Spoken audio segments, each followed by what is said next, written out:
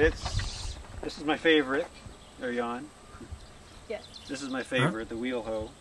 Uh, this one's called the Red Pig. I don't know if the company's still in business or not. It's modeled after the Planet Junior. If you go to some of these old estate sales or auctions, there'll be uh, uh, uh, really, really old ones of these. And uh, like I said, it's modeled after the Planet Junior. There's different implements you can put on here, and there's uh, different attachment points. There's uh, you know front and center, back center, uh, sides in the back, and then there's these that you can slide uh, back and forth. And um, and by and large, I'd say the implement I use the most is this uh, oscillating hoe, or stirrup hoe, or hula is what some people call them. Um, it's very thin blade. Um, you want to try and keep it sharp. Um, it should be sharp enough to cut you in order to uh, make the, the weeding easier and more effective. Um, usually I sharpen it before I use it every time, just to kind of hone off the, the little bit of a dull spot. Other implements I, I use mostly, there's other ones that come with it. There's uh, there's goosefoot cultivators, which are just uh, kind of curved points with a little bit of goosefoot on the bottom. They can go on these three uh, three connecting points right here and uh, I find it works pretty good uh, if you have a lot of grass or broadleaf problems but with bindweed um, the goosefoot don't they don't come to connect with they don't they don't cover all the ground and so it didn't cut off all the bindweed so I don't use them a whole lot most of the implements I use are full full coverage of the ground so like here there's a, you know there's a blade it's covering the entire entire ground um, these are different uh, types of blades um, this one throws a little bit more, this one throws a little bit more dirt off to the side. You know, it's just kind of the angle. It just uh, pushes and it throws a little bit out. It's really nice if you have, uh, you know, if you have your cabbage plant right here, you can get up underneath the leaves as you're uh, as you're passing through the cabbage. Um, whereas with an oscillating hoe, you would uh, not be able to get past the first leaf without breaking off a lot of your uh, a lot of your foliage. So this is good for going underneath cabbage or something. Uh, this blade is really good if you don't want to move a lot of soil out. So if you want to get up close to your planting, but it's still pretty small, um, this blade tends to pull the soil in a little bit um, rather than throwing it out.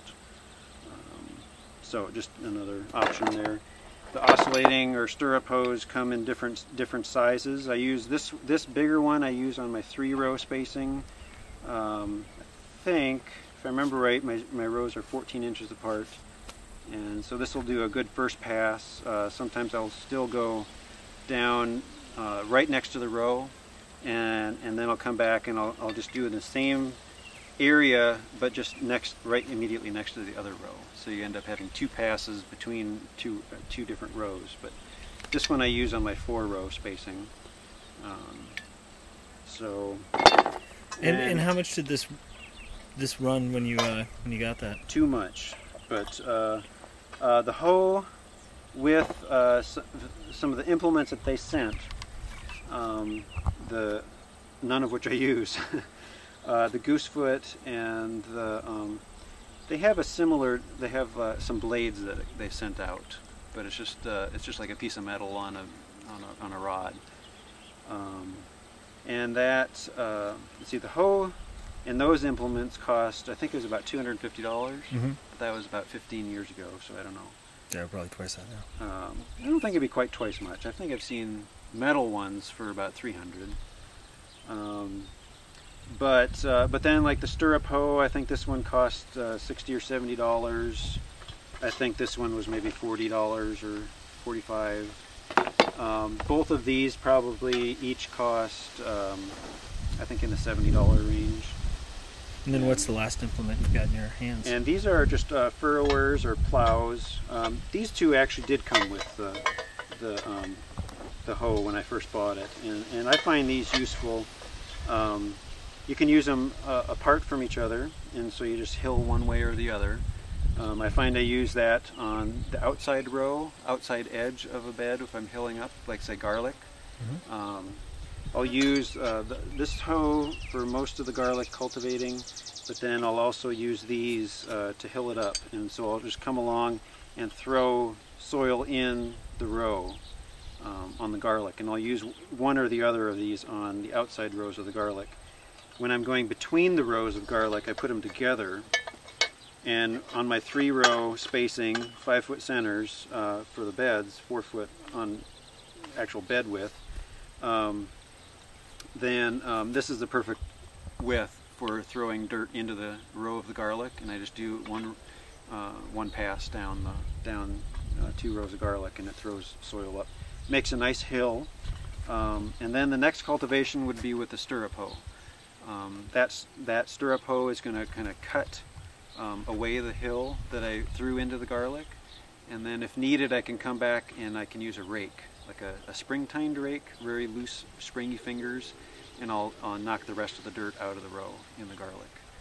Um, the next cultivation would be with furrowers again. And so given that regiment, garlic stays almost weed-free without with very minimal hand weeding. I did use this, the hillers and potatoes uh, for, I have two rows out here that I put just as a trial, um, but most of the potatoes I use the tractor cultivator.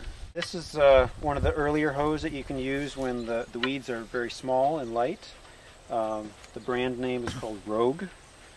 Uh, we get it from uh, Jordan Seeds up in uh, Minnesota, uh, land of 10,000 lakes.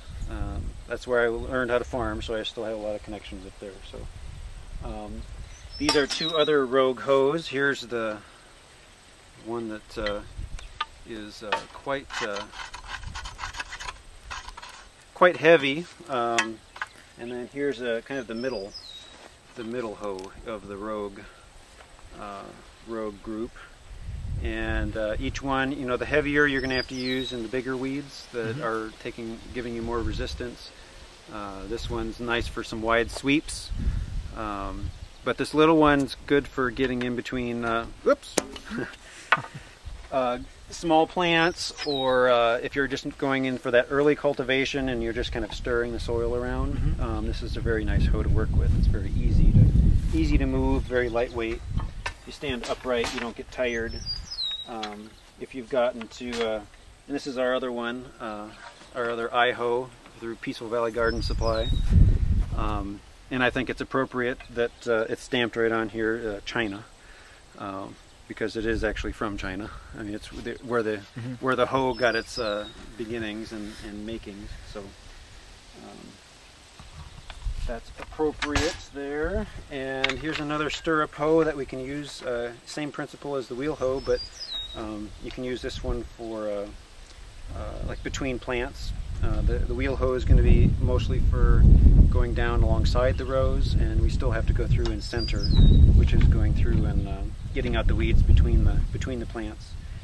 Uh, ideally I like to uh, take care of all my cultivation with the wheel hoe um, because you can cultivate as fast as you can walk um, and it's very very easy very quick um, it takes it. You can really break out a sweat doing it, but uh, but it's a whole lot easier than going and you know chopping with a hoe. Mm -hmm. Less so bending than hand weeding. A whole lot less bending than hand. So do you ever wear a pedometer for the summer? Um, no, I I don't. Uh, Are you afraid of what you might find? I, I am afraid, uh, but uh, I can tell you that I did a little quick math, and I've uh, probably walked at least two, two to two and a half marathons behind my planter, like my Earthway seeder, in the years that I've been farming. And the wheel hoe, for each pass of the planter, you'd be potentially doing, you know, six passes with the wheel hoe. So we're, we're up to, you know, probably. And then 12 to 15 marathons. We're probably somewhere around there. So it's uh, a lot of walking. Um, cancel your membership at the gym. Yeah but uh, you know, it's uh, I like it. I like working the soil, and I like seeing it, and I like hearing it. And um, you know, with the tractor, there's you're just a little bit removed from from the the work, but um, not to say that I don't like to do tractor work too.